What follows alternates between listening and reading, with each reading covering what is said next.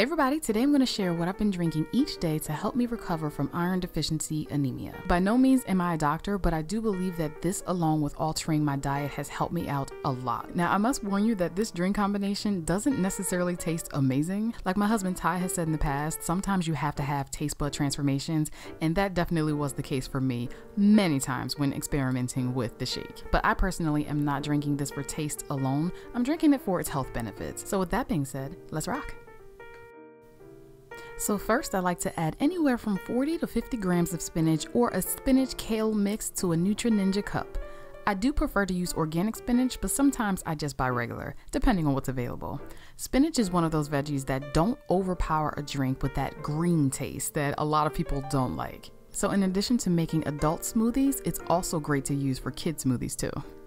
For additional green benefits, I like to add about 51 grams of zucchini. This is another almost tasteless veggie that works great to sneak in those smoothies.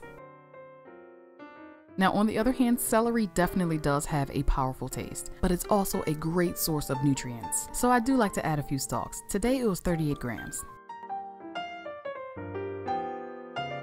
Now, blackstrap molasses is definitely, definitely a powerhouse in this drink. It is packed with iron and potassium. However, it took me a very, very long time to try it out because it is very thick and kind of gross tasting, in my opinion.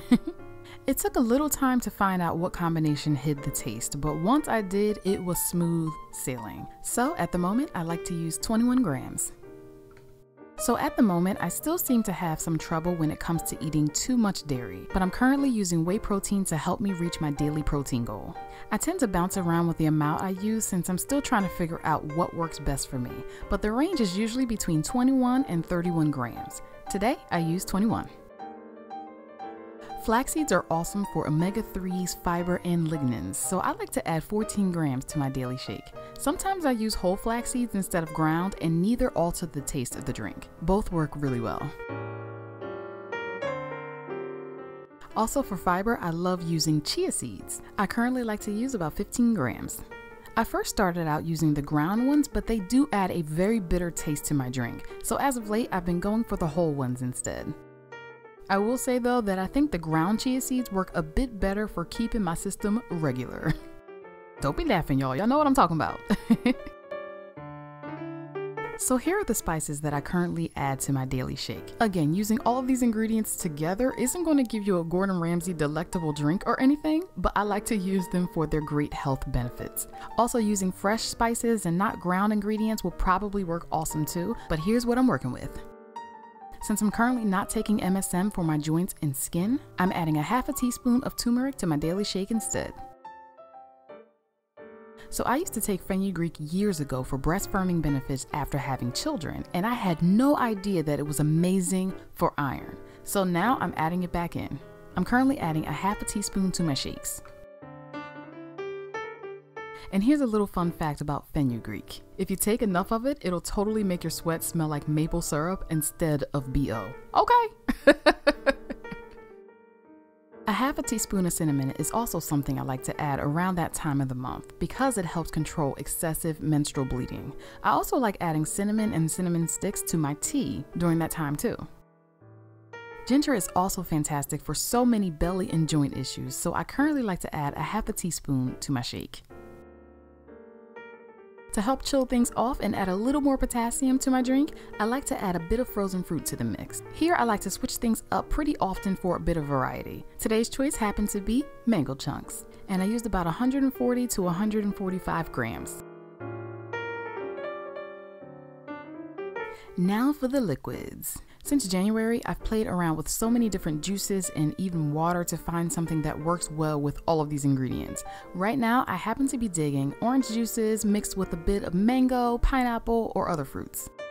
And usually I add about 12 ounces, more or less, which is enough to make two shakes. I also sometimes add a little water to help loosen things up. And in the near future, I'm going to be trying out a little apple cider vinegar too. Now it's time to blend everything together. And the Nutri Ninja does a fantastic job with this step.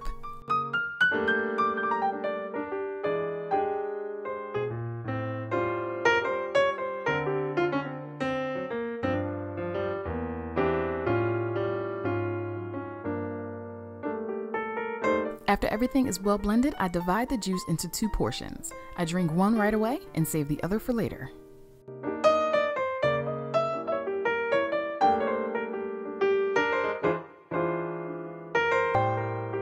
And that's it, y'all. That's what my smoothie is looking like at the moment. Again, this is not the tastiest thing in the world, but over time, I've actually grown to like the taste. Taste bud transformations are definitely real, y'all.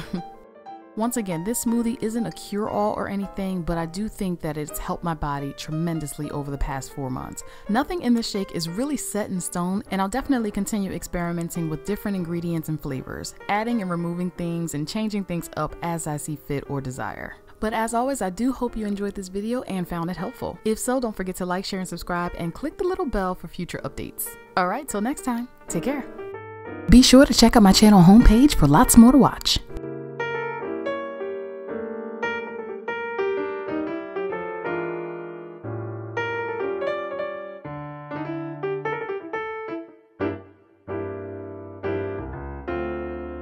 And don't forget to like, share, and subscribe for more. Have a great day.